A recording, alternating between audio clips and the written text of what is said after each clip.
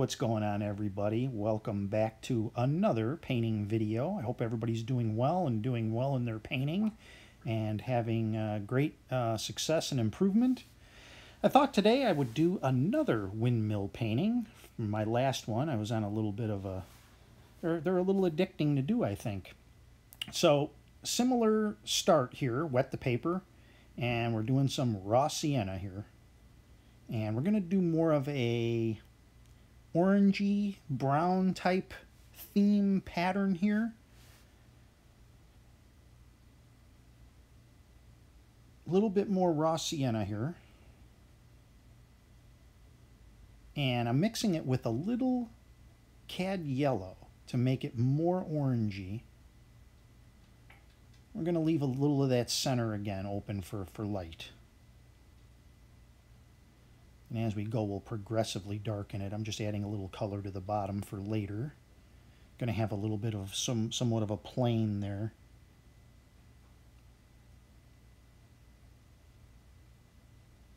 And then add a little bit of burnt umber. I added, I think, a little Van Dyke brown here. And we're just going to darken up just to create a little bit of a cloud pattern.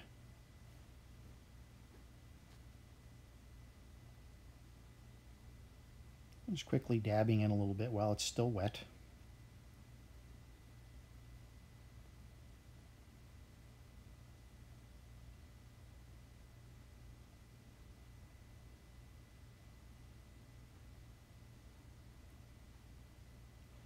And I'm just going to take a little bit on the horizon here where there's going to be the area where the windmills will sit.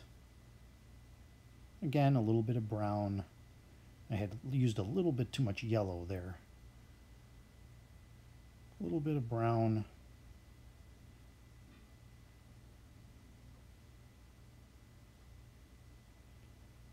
And I'm just taking a wet or somewhat dry hake, no paint on it, and I'm just dabbing in a little just to create some a little bit of cloud here. Sometimes this works, sometimes it doesn't. Tell when it dries. Just kind of blotting out some of the some of the paint.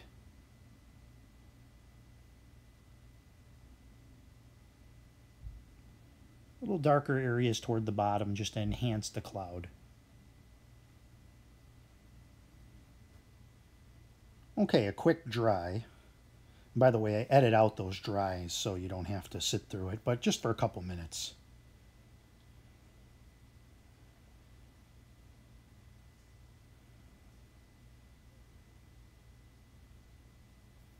Okay, so the next thing I'm going to do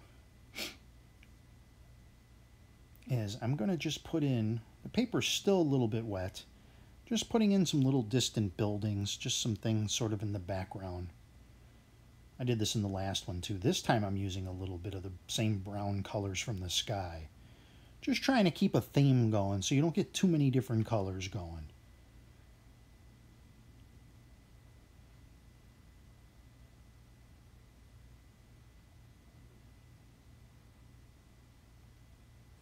Just some shapes in the distance.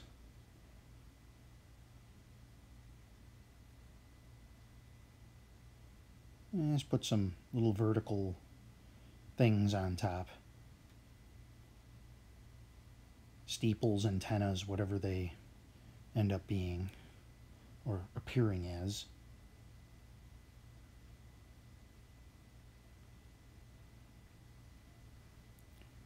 I've taken the uh, medium-sized hake brush and I'm just got the hairs very loose on there and just dabbing in some some grass here.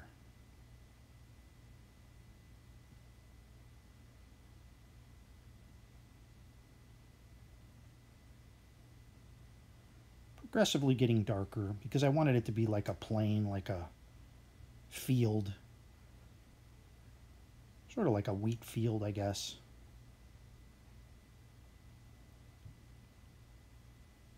not necessarily weak, but that same idea. That's what I had in my mind before I started.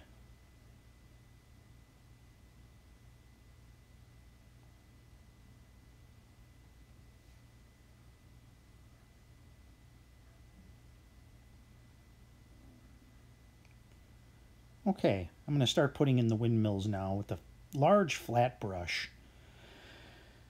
And I'm using again the same sort of color scheme and I'm not really mixing it too much on the brush. I just wanted a little bit of variety there. And I don't mind if there's a little separation in the hairs. I think that creates a little uh, realism there.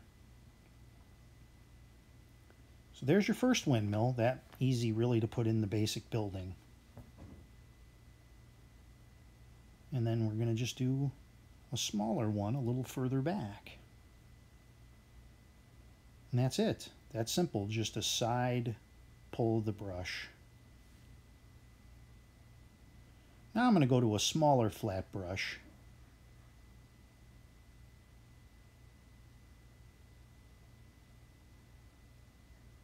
And we're just going to do a dome on these. You can do a pointy roof, whatever looks acceptable to you.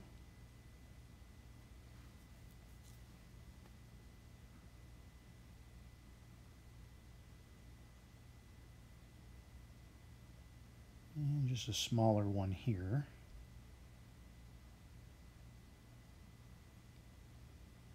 And just a little pointy thing sticking up top. It just seems like something that would be there. I'm not even sure if it's on the uh, on a windmill or not.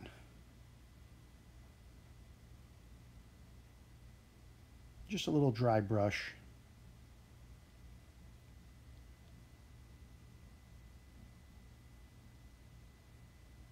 With some darker brown there.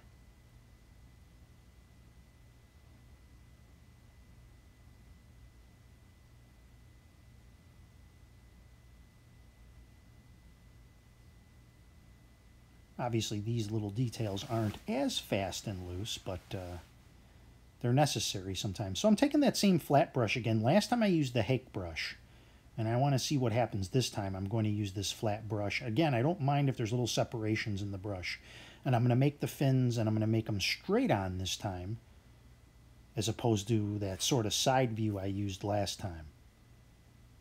Same colors again, just sticking with that theme of the light red, burnt umber,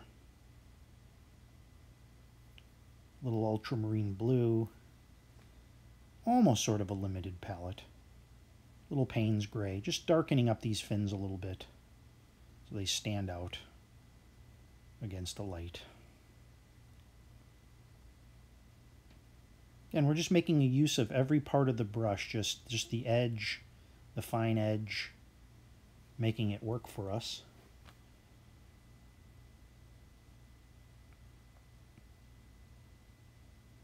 Even its flaws, which would be the separations in the hairs, make that work for us. You'd think you'd want it perfect. Back again to the medium hake brush with some darker, this time I believe I've mixed a little Van Dyke brown and some Payne's gray in here, just to darken up the, the field there.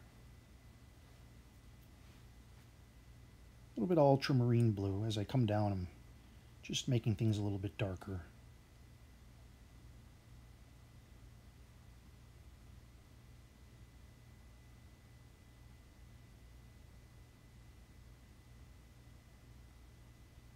Just a couple little sweeps down there just to sort of complete the bottom.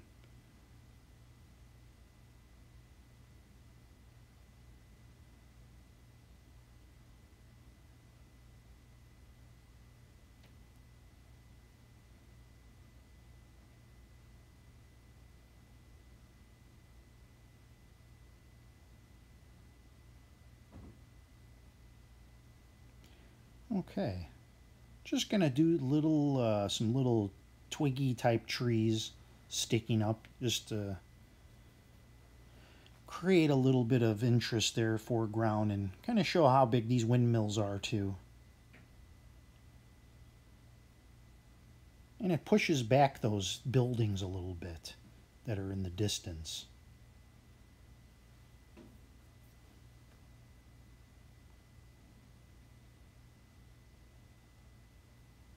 These are fun to do. I hope you try it.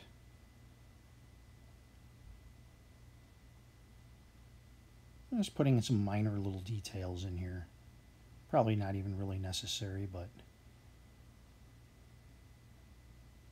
just to define it a little bit.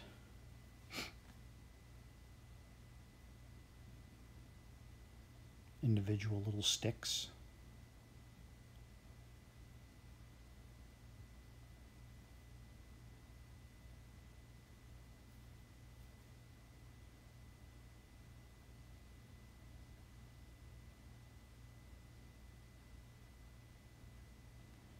Okay, I'm going to put a little fence in here. I did this on the last one. I thought it was a nice little accent.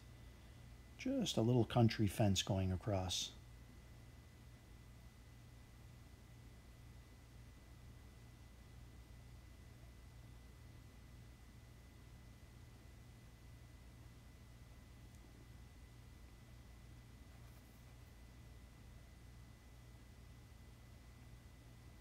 Same thing on this side, just a just a quick little with the rigger brush. I've probably done more detail in this than I've done in most of my other paintings.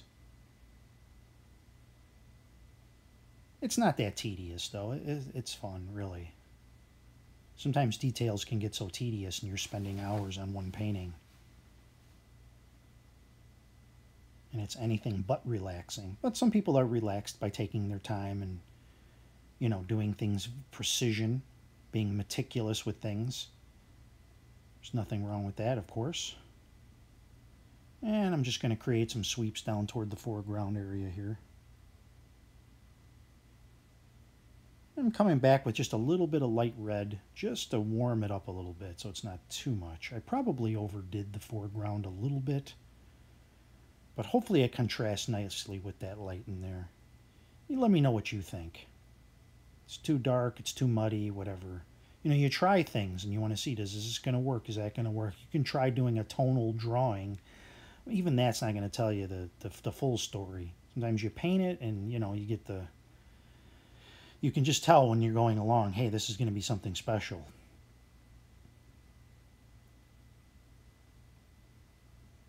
But in these pictures, the light is really the thing that really draws you in. You see that light in the middle, pulls you in the dark, the light, and then you look and you see the windmills, and I think it's a nice, uh, nice effect. We're closing in on the end. I'm just touching up a couple little things with the flat brush. Paint ran down just a little bit there. Of course, you can do yours flat. You don't have to do yours on this much of an angle. I just find it easier when I'm videoing, and I've, I've gotten used to it too, just painting this way. When I first started, I was doing totally on a, on a table just maybe a slight elevation. But I've found over time it's just easier to paint just vertically like this.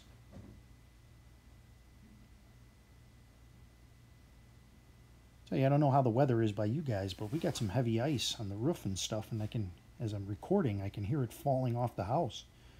It's kind of uh, startling.